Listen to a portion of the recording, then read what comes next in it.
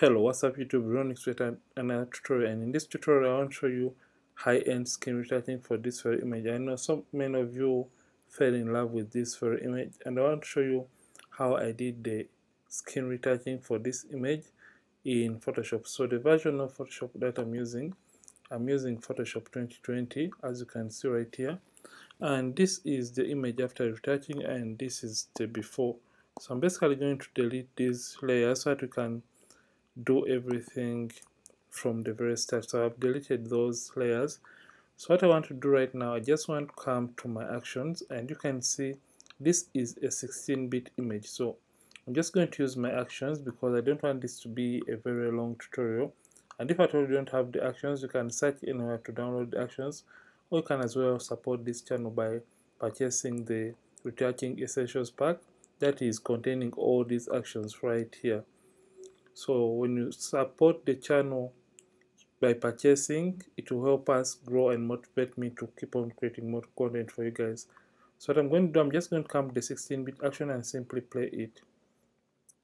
So right now you have to move the radius up to the point when you're starting to lose out on the details in the photo. So just going to move and look for the area that has more details and move the radius up to the point when I'm starting to lose out on those details so at around 7 I feel like we are good to go and I'm going to hit OK. So it is going to continue running and stop at creating a black and white layer. So the reason for creating this black and white layer is to act as a check for the uneven skin tones. You can see right now you can see the uneven skin tone transition. So you can use this as a check layer or you can as well turn this off. If at all you don't have a black and white layer with your, within your frequency separation you can as well turn it off or even delete it or just turn off the textures. And in this case you're going to be seeing the uneven skin tone transition. So remember skin retouching is more about evening out the skin tone transition. So I'm just going to come to the low frequency layer and the skin tones are in the low frequency layer. So just come and select it and come down here to the mixer brush tool. So I'm just going to right click and get a mixer brush tool. And if at all you have an older version of Photoshop you may find your mixer brush tool right down here. And so I've gotten the mixer brush tool. And for the settings the hardness is at zero meaning it is a soft brush. And make sure it is a clean brush right here. And we have two options right here. Make sure you select the second one because the second one is going to clean the brush when you are trying to blend in different colors because you don't want to carry a color that is different to another area because that is going to be distorting the original skin tones of the model. The weight I'm going to be using a weight of 9, load 75, mix at 90 and the flow at 100%. So make sure sample all layers is not checked because when you check this, it means that it's also going to be borrowing information from the texture layer and painting it in the color layer which we don't want. So make sure this sample all layers option is not turned on.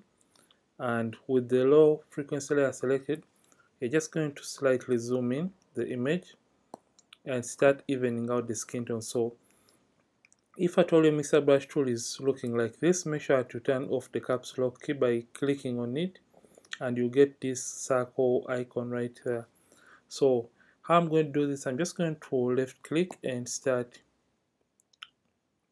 moving uh, the brush according to the area or the colors in that area. So I'm just going to be evening out those colors in those particular areas. And the more plastic the image turns out to be the better the results at the end of this process. So you're just using the mixer brush tool to blend those colors or the skin tones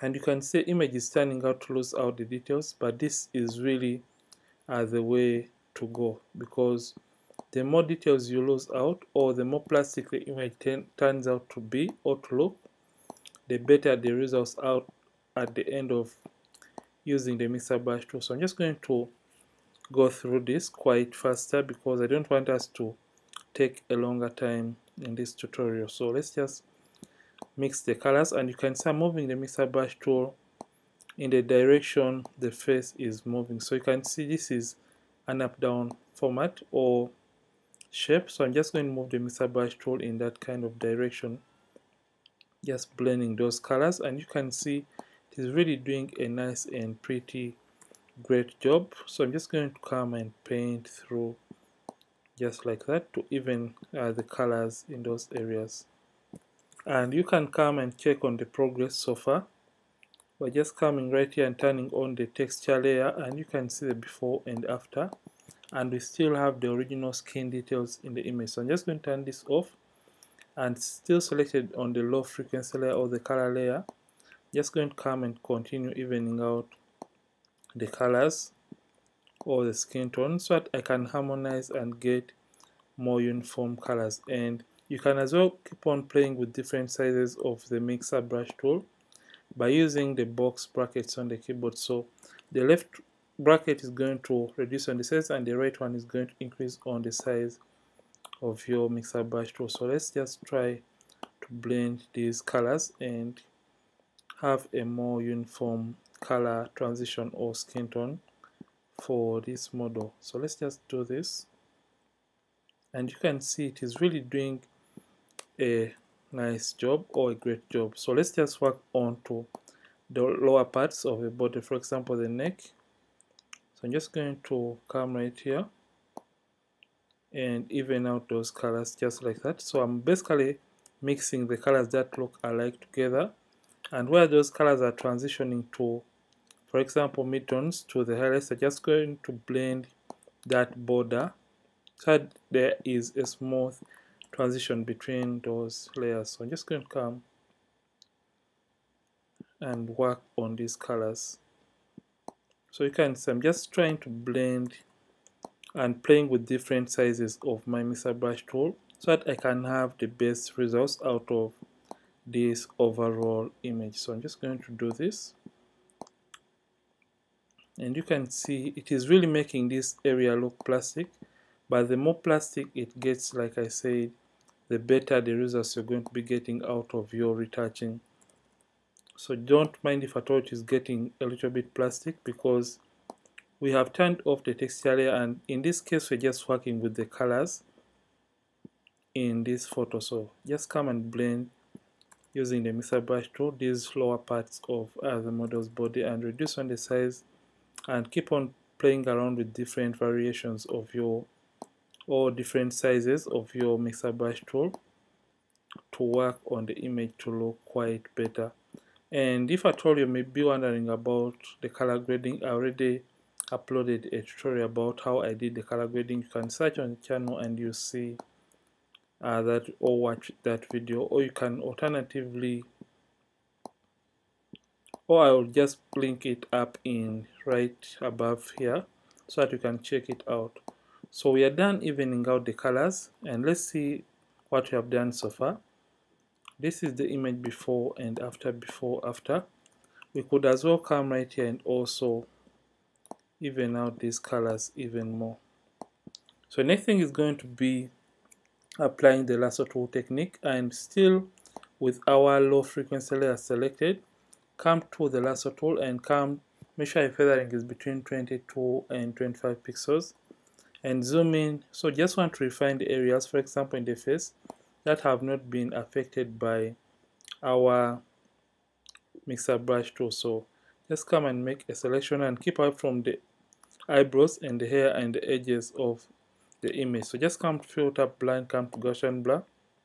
So you can come and click right here um, and move up to the point when you feel like the texture is natural and where you want it to be or alternatively I usually multiply this by 3 so whichever radius you may have used when you're se separating the frequencies of your image just multiply that radius by 3 so for this case I'm just going to type in 21 so 7 by 3 is 21 I'm going to be applying this onto the rest of the image just like that. And still the shapes I'm making on the face are following the area all the way the face is moving. So you can see how I'm making those selections in the photo. So just do that.